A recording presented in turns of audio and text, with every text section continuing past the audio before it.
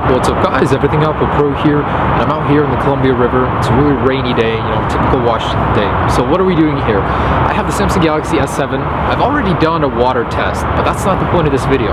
With this video, I want to go above and beyond what we did in the water test and see what it really takes to kill this thing. Can you go swimming in a lake with it? Can you drop it to the bottom and pick it up later and have it still working? Or I just want to see really what it'll take to kill this thing, 10, 20 feet, however much we can get. So as a point of reference, I've got a iPhone 6s here from an earlier video. It is working and it's in a Lunatik case. So this thing is IP68 rated, just like the Samsung Galaxy S7. So for both of these, the point of this video is to test how water resistant they can be against each other and which one will survive in the end. So we've got our little paint can contraption here. We're gonna go ahead and put in a weight so it'll sink to the bottom. And of course, I do have these labeled on the string itself at 10 feet increments. So we'll be able to see, hopefully we get up to 15, 20 feet, that would be great. So in goes the iPhone 6S. Uh, really, you know, this is a test for the 6S. The people that are gonna be commenting, well, that's not fair and all that. Really, uh, only reason I'm throwing this in here is because it's going in for repair. Why not just put it in here anyways? Uh, this guy though, I really wanna see to what extent this will go before dying in the water. So in you go, and let's lock this thing up.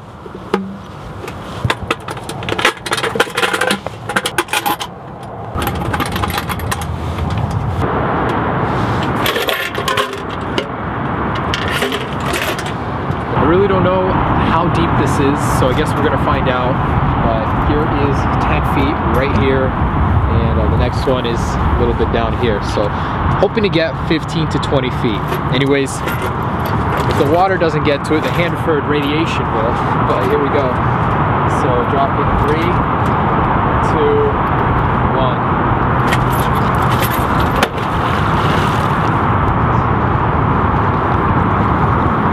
Alright, there it goes. So the 10 foot marker has one underwater.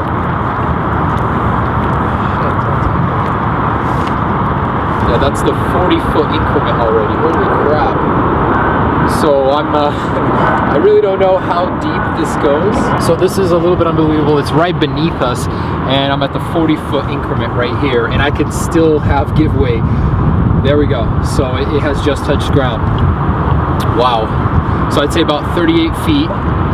Let's let it sit there for about, I'd say five minutes. Is anyone really gonna dive down there and grab this at 40 feet? Highly unlikely, but I'm still curious to see if the phone will survive, or either one of them really. So uh, I didn't expect it to be this deep, but let's see what we got here. So once this settled, uh, it's directly beneath us. We dragged it little by little. It's a good 35 feet in the water. I'd say 36 feet. So uh, it's time to pull it out. It has been exactly five minutes, uh, going on six now, and uh, I'm I, don't, I really don't know what to expect. The S6 did well into five feet. Let's see how he does in uh, 36. And uh, pulling, pulling. There we go. Surprised it didn't get snagged on anything. So I did have a little water indicator on the 6S case. All right, Samsung, how durable did you make your phone? Did we kill it? Let's find out. Let's see just how durable this is. All right. So there are these guys. The iPhone. Wow, nothing. It was working when we put this case on, but now, oh, holy crap. No way. The phone is working. It just got a, a lot of water on the display, but wow. That is unbelievable. Lunatik, he makes some good stuff. All right, so. Oh man, I think that's it. I get nothing. Let me try and hold it. Wow, so. Okay, the, it lights up. I see, I saw, I just saw a little glimmer of light on the home button. Oh, right there. So it does light up, but the screen isn't working. Wow. You can definitely see moisture in there. I feel vibration, but it's not lighting up. Fortunately, uh, the Galaxy S7 is toast after 40, almost 40 feet in the water. 35 feet is a no-go. So you'll definitely need a waterproof case for this guy, anything below five feet. On the other hand, IP68 rated case did so well on this guy, it's still working. That's, uh, that's really unbelievable.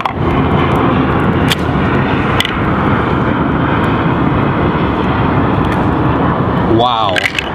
Still dry inside. That is insane. In the end, the phone is still working.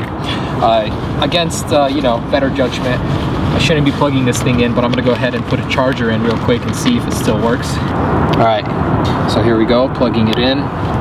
Got a power bank here, gotta turn that on. And no signs of life.